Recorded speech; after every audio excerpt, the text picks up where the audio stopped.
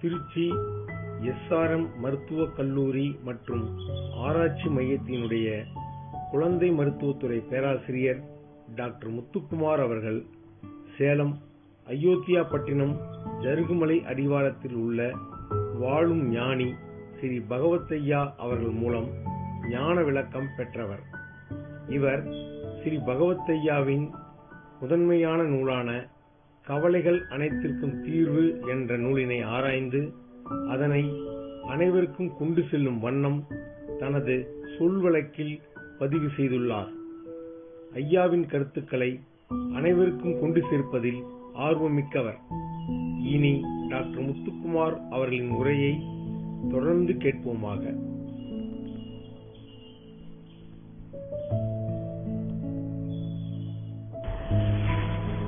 நண்பர்களே அனைவருக்கும் வணக்கம். இன்னைக்கு நம்ம மனதோட செயல்பாட்டு இன்னொரு பரிணாமத்தை நம்ம பார்க்கலாம்னு நினைக்கிறேன். அதாவது இப்போ நம்ம நல்ல பசியோடு இருக்கிறதா வச்சுக்குவோம். ஆனால் இப்போ உணவு ரெடி ஆகிறதுக்கு இன்னும் கொஞ்சம் டைமாக இருக்கும் பொழுது நம்ம அப்படியே சோஃபாவில் சாஞ்சிருக்கும்போது அப்படியே நம்ம தூங்கிடுறோம். அப்படி கண்ணை அசரும் போது கனவு வருது. அந்த கனவுல கூட நம்ம பசியோடு இருக்கிறதா தான் நம்ம உணர்றோம். நமக்கு நல்ல உணவு பரிமாறப்படுதுன்னு வச்சுக்குவோம். அப்படி நம்ம கனவுல நம்ம எவ்வளோதான் சாப்பிட்டாலும் உண்மைக்கு நம்ம பசி உணவு நம்ம உடல்ல இருந்து அது மாறுறது கிடையாது. நம்ம உணவு உண்றதா எத்தனை தடவை கனவு கண்டாலும் நம்ம உடல்ல இருக்கிற பட்சி நமக்கு மாற போறதில்லை. இதே மாதிரி தான் நம்ம உறவினருக்கு உடம்பு சரியில்லை அப்படின்னு சொல்லி தகவல் வருது. அவர் நல்லா இருப்பார் நல்லா இருப்பார் அப்படின்னு நம்ம எத்தனை தடவை கற்பனை செஞ்சு பார்த்தா கூட நம்ம நம்ம உடம்போட நேராக போய் அவங்கள போய் பார்த்தா தான் நம்ம மனசு வந்து அதை போய் அதை போய் பார்த்தா தான் உடம்போட போய் அதை இது பண்ணாதான் நமக்கு ஒரு மன திருப்தியா இருக்குது. ஆனா அப்படி நம்ம உடம்போட சென்று பார்க்கறதுக்கு முன்னாடி நம்மோட கற்பனை வந்து நமக்கு முன்னாடி அதுக்கு முன்னாடி அங்கே போய் அவருக்கு அது பண்ணியிருக்குமோ இது பண்ணியிருக்குமோ அப்படின்னு சொல்லி ஒரு மன கலக்கத்தை உண்டாக்கிடுது. இப்படி எல்லாமே நம்ம மனசுனால வர்றதுனால மனசுனால நமக்கு ஆதாயம் இருக்குதா இல்லையா? இல்ல மனசு வந்து இந்த மாதிரி கலக்கத்தை தான் உண்டு பண்ணுதா? அப்படிங்கிற ஒரு எண்ணம் நமக்கு வருது. இப்ப மனசுனால நமக்கு என்ன ஆதாயம் அப்படின்னு பார்த்தோம்னா இப்ப நம்ம வீட்டை விட்டு வெளியில வரும்பொழுதுதான் நமக்கு அந்த செய்தி வந்திருக்கு. வீட்டுல யாருக்கோ உடம்பு சரியில்லை அப்படின்னு சொல்லிட்டு. இப்ப நம்ம வீட்டை வந்து திருப்பி வீட்டுக்கு போறதுக்கு நம்ம மனசு மூலம் நம்ம அறிவு அதுக்கு ஒரு வழிகாட்டணும் இதுதான் மனசு நமக்கு வழங்குற ஒரு ஆதாயம். அதே சமயத்துல நம்முடைய மன கலக்கம் ஏற்படுறதுக்கும் அதே மனசு வந்து ஒரு காரணமா அமைஞ்சிருது. அதே அறிவே ஒரு காரணமா அமைஞ்சிருது. இப்படி நம்மளோட உடம்புக்கும் நம்முடைய செயலுக்கும் வழிகாட்ட வேண்டிய மனசு வந்து சில சமயம் கற்பனையான உண்மை இல்லாத அம்சத்தை எல்லாம் காட்டி ஒரு மன கலக்கத்தையும் நமக்கு ஏற்படுத்திடுது. அதனால இதில் என்ன சொல்ல வரேன்னா மனசு வந்து நமக்கு இருக்கிறதையும் காட்டுது இல்லாததையும் கற்பனை செஞ்சு காட்டுது. இப்ப இப்ப ஒருத்தருக்கு நோய் ஏற்பட்டுருச்சு அப்படிங்கிறது ஒரு யதார்த்தமான ஒரு உண்மை அது. இந்த உண்மையை வந்து நம்ம நம்ம மனசோட உதவியோட தான் நம்ம அதை பார்க்குறோம். அப்படி மனசோட உதவியோட பார்த்ததை புரிஞ்சுக்கிட்டதுனால தான் அவருக்கு வேண்டிய சிகிச்சைக்காக ஒரு மருத்துவரை பார்க்குறோம். அந்த மருத்துவரை சொல்றதெல்லாம் கேட்டுக்கிறோம். ஆனால் இந்த மனசு வந்து அத்தோட நின்றுடாம அதீதமாக பல கற்பனையும் செஞ்சிடுது.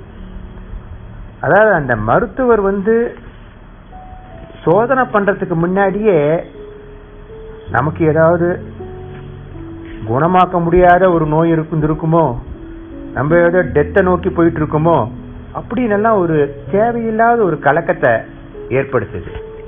இது வெறும் கற்பனை தான். ஆனா அந்த கற்பனையே நமக்கு ஒரு பயத்தையும் ஒரு பதபதப்பையும் உண்டாக்கிடுது. இப்ப நம்ம இதுவரைக்கும் பார்த்தத பத்தி சுருக்கமா உங்களுக்கு சொல்லணும் அப்படின்னு சொன்னா நம்ம பொருளை வந்து நிஜ பொருள் நிழல் பொருள்னு சொல்லி ரெண்டு வகையா பிரிச்சு பார்த்தோம். அந்த நிழல் பொருள்ல கூட ரெண்டு அம்சம் உள்ளதை பார்த்தோம். அதாவது ஒன்று வந்து நிஜத்தை வழிநடத்தி செல்லுது இன்னொன்று வந்து இந்த நிஜமில்லாத கற்பனையை வழிநடத்தி கலக்கத்தையும் உண்டு பண்ணிடுது. இதுதான் நம்ம வந்து இது வரைக்கும் பார்த்தோம். இப்ப நம்ம பொருளை நிஜ பொருள் நிழல் பொருள்னு ரெண்டு வகையா பிரிச்சதை போல இந்த நிழல் பொருளை வந்து நம்ம எப்படி விளங்கிக்கும் அப்படிங்கிறதுக்கு வசதியா அதை நம்ம ரெண்டா நம்ம பிரிச்சு பார்க்கலாம்.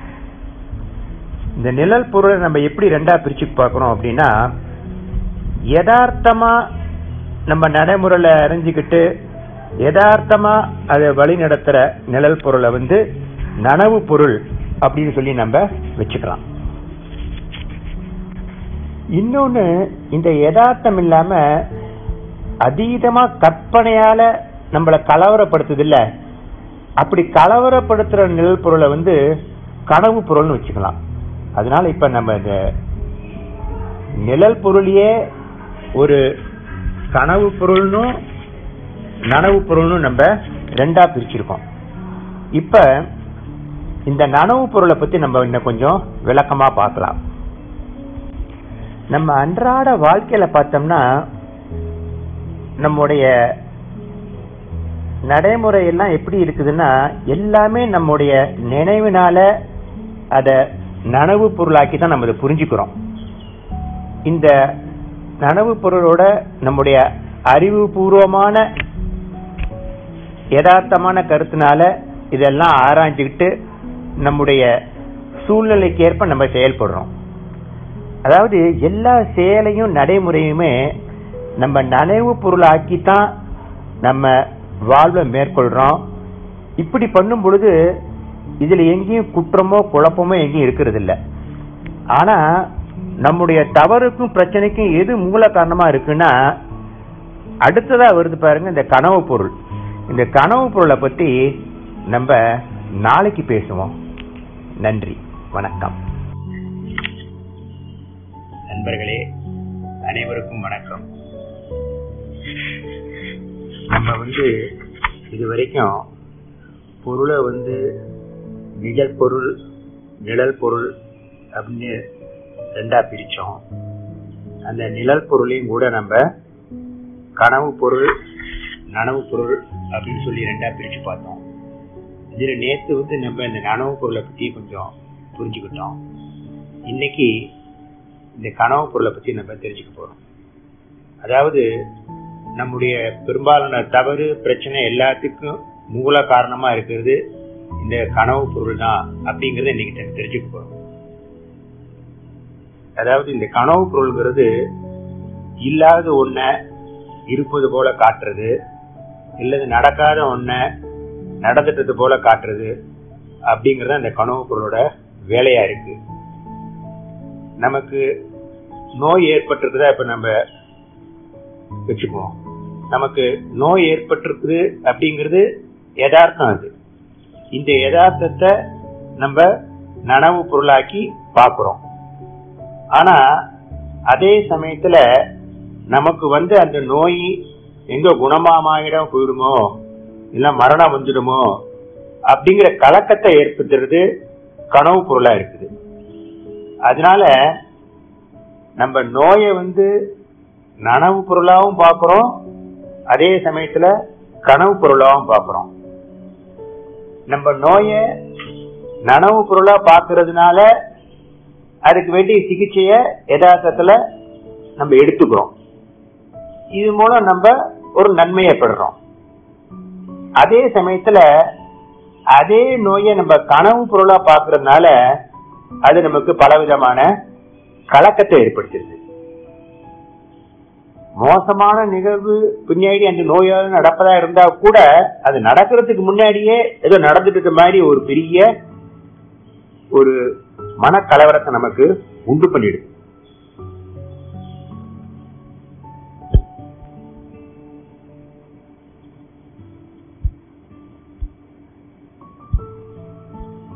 இப்ப இந்த கனவு பொருளோட அமைப்பையும் அதனுடைய இயக்கத்தையும் ஆய்வு செய்கிறது மூலத்தான் நம்ம நம்மளுடைய மன ரீதியான அத்தனை பிரச்சனையும் நல்லா புரிஞ்சுக்க முடியும். அதே மாதிரி இந்த கனவு பொருளை எப்படி நம்ம நிர்வாகம் செய்யறது அப்படின்னு புரிஞ்சுக்கிறது மூலம்னா நமக்கு ஏற்படுற அத்தனை துக்கம் துயரம் எல்லாத்துலயும் நம்ம நிரந்தரமா விடுபட முடியும். அதனால நம்ம இந்த நிழல் பிரிவை வந்து ரெண்டு பிரிவா நம்ம பார்த்திருக்கோம். நனவு பொருள்னு சொல்லி கனவு பொருள்னு சரி ரெண்டுமே நிழல் பொருள் தான் கனவு பொருளும் நிழல் பொருள் தான் நனவு பொருளும் நிழல் பொருள் தான் இந்த நனவு பொருளுக்கும் கனவு பொருளுக்கும் ரொம்ப ரொம்ப சின்ன வேறுபாடு தான் இருக்கு. அது ரொம்ப சின்ன வேறுபாடா இருந்தா கூட அது ரெண்டும் அதனுடைய தன்மையை பொறுத்து வேற வேற துருவத்தை கொண்டு போயிடுது. ஒண்ணு வந்து பயங்கரமா நமக்கு ஒரு கலக்கத்தை உண்டு பண்ணுது. இத நம்ம வந்து ஒரு உதாரணத்து மூலமா நம்ம இப்ப பார்க்கலாம். அதாவது ஒரு நீண்ட காத்தாலையில நல்ல வெய்ய நேரத்துல நம்ம பயணம் செய்யறோம் நம்ம பயணம் செய்யும்போது ரோட்ல தண்ணி தேங்கி கிடக்குற மாதிரி தெரியுது. நம்ம எல்லாருமே பெரும்பாலும் பார்த்திருப்போம். அதை வந்து காணல் நீர்னு சொல்றோம். இப்படி நம்ம காணல் நீர்னு புரிஞ்சுக்கிட்டதுனால மட்டும் அந்த காணல் நீர் மறைஞ்சிடுமா? அப்படின்னு பார்க்கணும். இது நீங்க காணல் புரிஞ்சுக்கிட்டதுனால அந்த காட்சி மாறுறது இல்லை ஏன்னா கிட்டக்க போன பிறகு தெரிஞ்சு போயிடுது. இருந்தாலும் அதே காணல் நீர் வந்து இன்னும் கொஞ்ச தூரம் டிராவல் பண்ண பிறகு பழையபடி நமக்கு அது தெரியுது. அதனால நம்ம புரிஞ்சுக்கிட்டதுனால மட்டும் அந்த காணல் நீர் வந்து எப்படி மறையிறது இல்லையோ அது மாதிரி நம்ம புரிஞ்சுக்கிட்டதுனால மட்டும் இந்த கனவு காட்சி மறையறது இல்லை அது இருந்துகிட்டு தான் இருக்குது. நீ காணொலின்னு தவறா இனிமேல் புரிஞ்சுக்க கூடாது. நம்ம வண்டியை நல்லா ஓட்டலாம் அப்படின்னு நினைச்சா கூட அந்த காட்சியில எந்த மாற்றமும் இருக்க போறது இல்லை ஏன்னா அங்க தவறா புரிஞ்சுக்கிற அந்த மயக்கம் மட்டும்தான் அந்த இடத்துல இல்லையோ தவிர பழையபடி அந்த காட்சி தெரியத்தான் செய்யுது உங்களுக்கு. இதுதான் இந்த கனவு காட்சிக்கும் நனவு காட்சிக்கும் உள்ள முக்கியமான வேறுபாடு. மயக்கத்தோட இருக்கிறது கனவு காட்சி மயக்கம் இல்லாம இருக்கிறது நனவு காட்சி. சரி இப்ப இந்த மயக்கத்திலிருந்து நம்ம விடுபடுறது அப்படிங்கறத நம்ம பார்க்கணும். இந்த மயக்கங்கிறது ஒரு நிழல் கனவு காட்சி அப்படிங்கும்போது ஒரு எக்ஸாம்பிள் பார்த்தோம்னா ஒருத்தன் வந்து தன்னோட நிழலை வந்து அழிக்கணும் அப்படின்னு நினைச்சிட்டு ரொம்ப ஆழமா குழி தோண்டி அந்த நிழலை புதைக்கணும்னு பார்த்தோம்னா புதைச்சு அது மேல மண்ணை போட்டாக்க என்ன ஆகுது? பழையபடி அந்த மண்ணுக்கு மேல அந்த நிழலு தெரிஞ்சு போயிடுது. சரி குழி தோண்டி தான் மூட முடியும். ஒரு பெரிய பாத்திரத்தை போட்டு மூடி அது மேல வைக்கலாம்னு பார்த்தோம்னாலும் அந்த நிழல் வந்து அந்த பாத்திரத்துக்கு மேலேயும் கூட வந்துருது சரி இந்த நிழலை வந்து வேற ஏதாவது ஒரு வெளிச்சத்தை கொண்டு வந்து இது பண்ணா சரியாகுமான்னு பார்த்தோம்னா நிழல் வந்து அந்த வெளிச்சத்தோட மறுபக்கத்துல வந்துருது. இப்படி நம்ம என்ன செஞ்சாலும் நிழலை வந்து ஒழிக்கிறதுங்கிறது நடைமுறையில சாத்தியம் இல்லாம இருக்குது. அதனால இதை என்னதான் பண்ண முடியும் அப்படின்னு பொழுது இந்த நிழலை அழி அழிக்கிறது அப்படின்னு நினைக்கிறோம் பாத்தீங்களா அந்த அழிக்க நினைக்கிறது ஒரு வீண் வேலை அப்படின்னு புரிஞ்சுக்கிட்டு அந்த அழிக்க நினைக்கிற போராட்டத்தை நம்ம கைவிடுறதுதான் ஒரே ஒரு சாத்தியமானது. இந்த நிழலோட பிடியிலிருந்து நம்ம விடுபடுறது. அதனால நம்ம நிழலோட எத்தனை வருஷம் யுத்தம் பண்ணாலும் அதனை ஜெயிக்கவே முடியாது. அது தேவையில்லாத வீண் வேலை அப்படின்னு நம்ம கண்டுக்கிறது தான் அதை ஜெயிக்கிறதாகும். இப்படி கனவு பொருளை கட்டுப்படுத்துறது வீண் வேலை அப்படின்னு நம்ம ஃபைனலா எடுத்துக்கலாமா? ஆமா அப்படிதான் எடுத்துக்கணும். அப்படி எடுத்துக்கிட்டா கனவு பொருளை எப்படி நம்ம கண்டுக்கிறது? கண்டுக்காம விடுறதுதான் அதை ஜெயிக்கிறது அப்படின்னு எடுத்துக்கிட்டோம்னா அந்த கனவு பொருள்கிட்ட நம்ம தோத்துட்டதா ஆகாதா? இந்த கனவு பொருள் தொடர்ந்து இருக்கிறதுக்கு நம்மளே ஒரு வாய்ப்பு கொடுத்துட்டதா ஆகாதா?